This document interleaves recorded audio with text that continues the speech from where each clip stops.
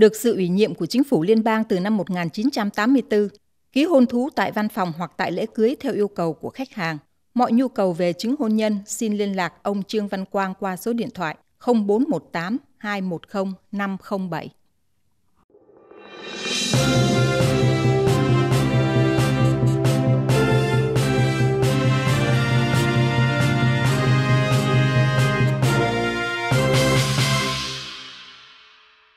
Vâng, và kính thưa quý vị, cũng trong cái bối cảnh này thì chúng ta thấy đó là tất cả những cái dữ liệu thống kê về kinh tế, về à, tỷ lệ thất nghiệp tại Úc trong những ngày vừa qua có thể nói là nó khá là khả quan.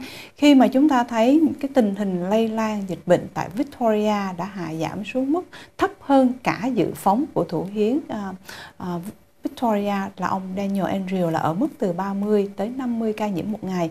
Hiện nay cái mức trung bình chỉ ở mức là khoảng 26.4 ca nhiễm một ngày mà thôi.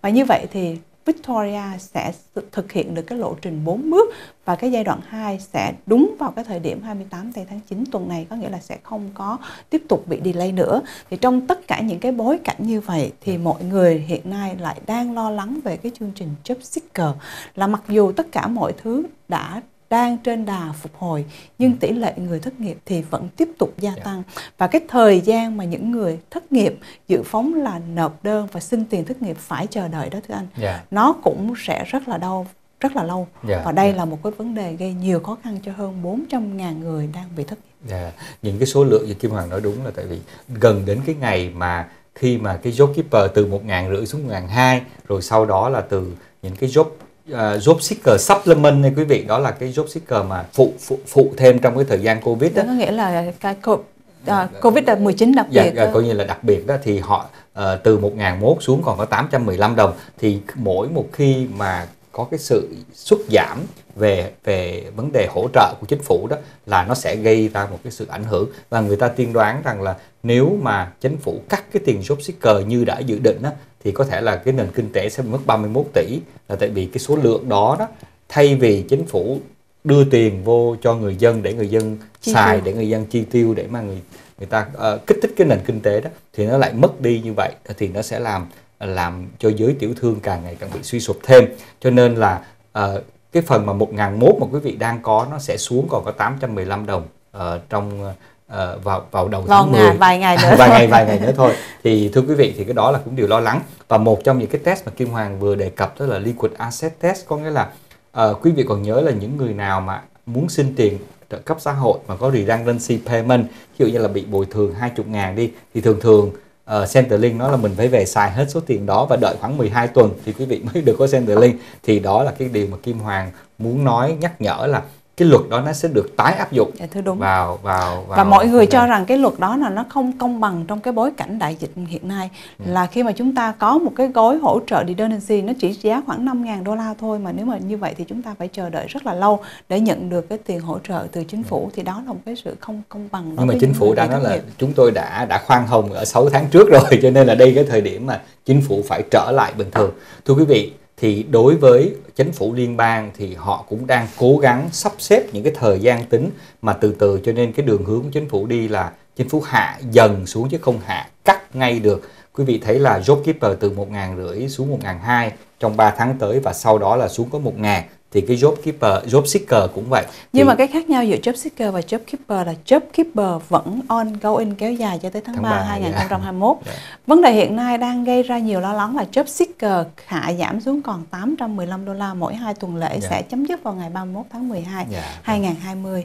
Chuyện gì sẽ xảy ra trong năm 2021 nếu như tiền job seeker trở lại mức cũ của New Star yeah. là 40 dạ. đô la cho một ngày thì người dân lấy đâu ra chi tiêu và yeah. Dạ. kinh tế làm sao để phục hồi? Dạ vâng thì cái đó là cái sự giải thích mà mà tôi nói là nhiều nhiều người bình luận gia cho rằng là à, cái, cả cái cái cái kinh tế Úc sẽ bị thất thu 31 tỷ là vì cái sự cắt giảm của job job seeker supplement.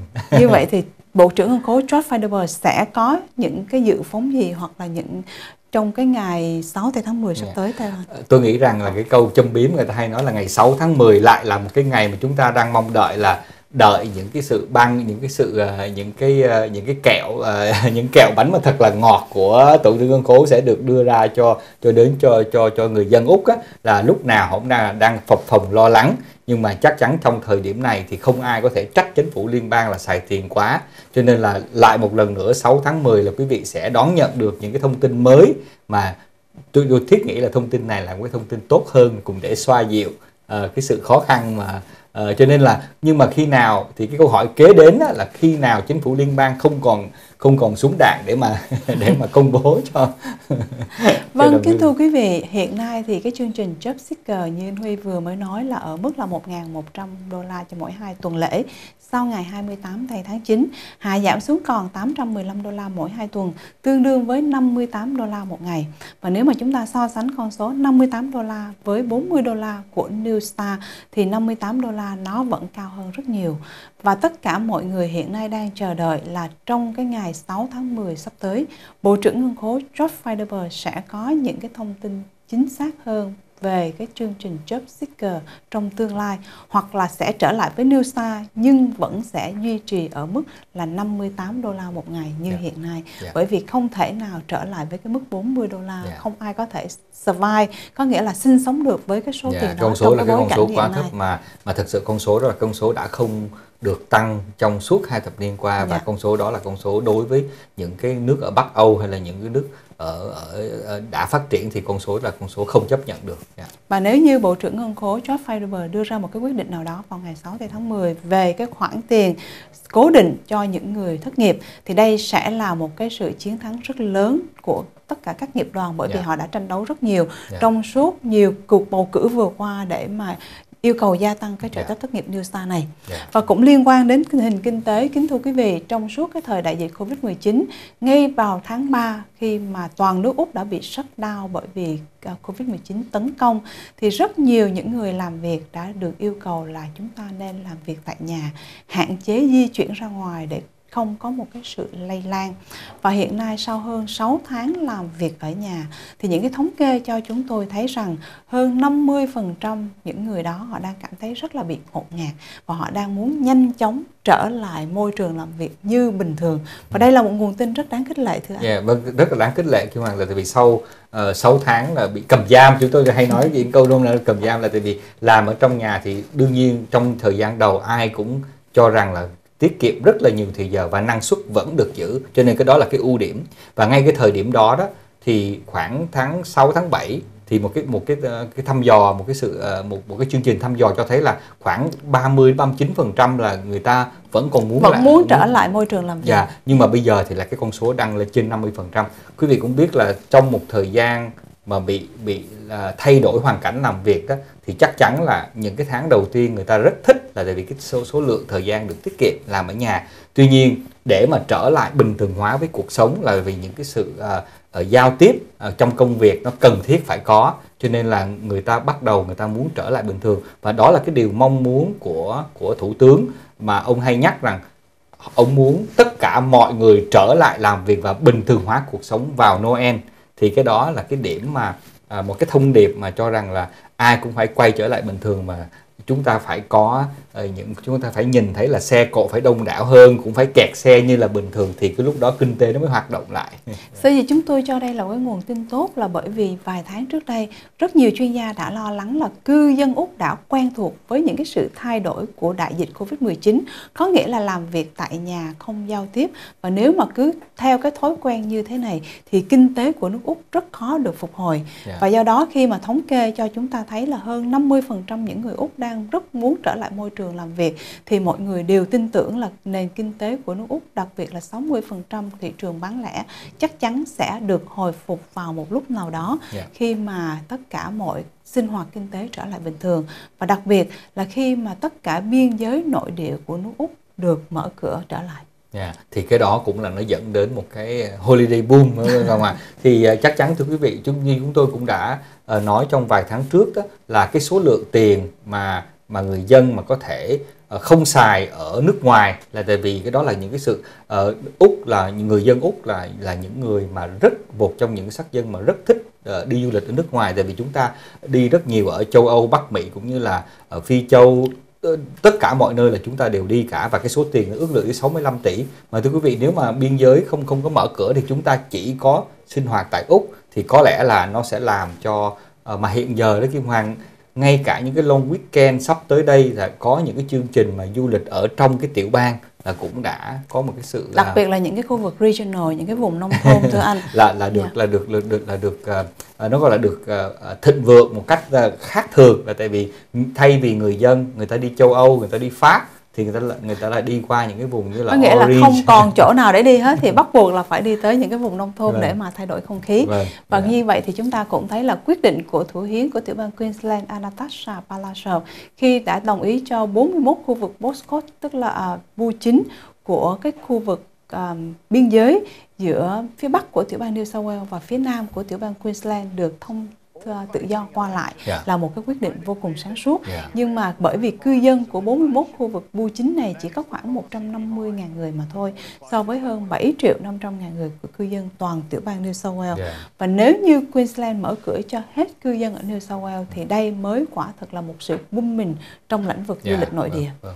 Thì cái kinh kinh tế cũng đang uh, có lẽ là Tổng thống Ngân Khố với Thủ tướng rất là mong đợi khi mà biên giới nội địa sẽ được mở tung ra và mà ngày hôm nay thì cũng những cái tin là biên giới của Nam Úc và biên giới của New South đã được mở đã cửa. được thông thương. Và những và những à, dạ, và những chiếc máy bay đang bị nằm nằm không. Ở đó khoảng vài tháng đã được bắt đầu sẽ cất cánh trong ngày mai. Thì chúng tôi nghĩ rằng đây là một cái tin rất là tốt và từ dạ. đó tiểu bang Nam Úc cũng là một cái tiểu bang đầu tiên sẽ được hưởng được những cái sự thịnh vượng mà từ ngành du lịch nội địa. Có nghĩa là từ cư dân New South Wales đem lại. Và đây có thể sẽ là những cái sự thất thoát từ tiểu bang Queensland là bởi vì Nam Úc đã đi trước Queensland một bước trong cái dịp School Holiday lần này.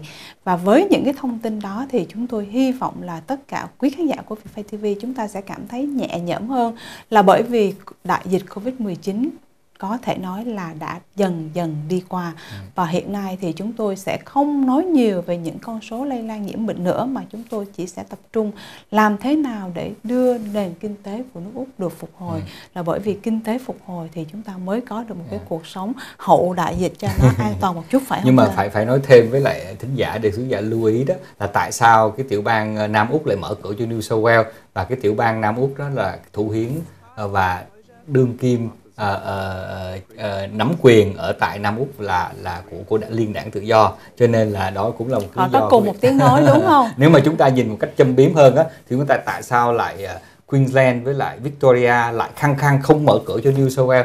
Thì quý vị thấy là ở trong cái trong cái đại dịch Covid này thì chúng ta mới thấy những cái sự căng thẳng về chính trị của hai đảng vâng. uh, ở cấp tiểu bang và liên bang không? Và đặc biệt là trong vấn đề đóng cửa biên giới nội địa. Vâng. vâng, đó là trong những cái gút mắt mà Hội đồng nội các quốc gia không thể thông qua và cũng đã gây ra sự bất đồng rất lớn trong sinh hoạt của Hội đồng nội các trong đại dịch Covid-19 này. Và với quyết định của thủ hiến của tiểu bang Queensland thì chúng ta hy vọng là sau ngày 1 tháng 10 thì sẽ có thêm sự nới lỏng nhiều hơn nữa đối với cư dân New South Wales. Còn nếu không thì Queensland vẫn sẽ tiếp tục đóng cửa cho tới bầu cử, đó nghĩa là 31 tháng 10 để mà có thể à, thủ hiến lao động lại tiếp tục nhận được sự ủng hộ cử tri là bởi vì yeah. Dạ. hiện nay bà vẫn nhận được sự ủng hộ khá đông của cử yeah. Dạ. tri của mình. Yeah. Dạ. Vâng và đó là những sinh hoạt chính trị tại nước Úc trong những ngày vừa qua. Trước khi chấm dứt chương trình thì không biết là anh Huy có những gì muốn gửi cho đến khán giả hay không? Yeah, vâng à, thì cảm ơn Kim Hoàng. À, đây là cũng như là ngày cuối cùng của tháng 9 cũng là đây là một cái chặng đường mà 6 tháng mà quý vị biết là từ giữa tháng 3 cho đến tháng 9 là một cái một cái khoảng mà chúng ta hay nghe đến là cái mốc điểm của uh, những cái chương trình tài trợ cũng như là uh, những cái ngân hàng không trả, uh, mình không cần phải trả nợ ngân hàng thì đây cũng là một cái mốc điểm mà chúng ta đã qua được nửa năm nửa năm thử thách uh, gọi là lớn nhất ở trong 100 năm nay mà chúng ta chưa bao giờ thấy.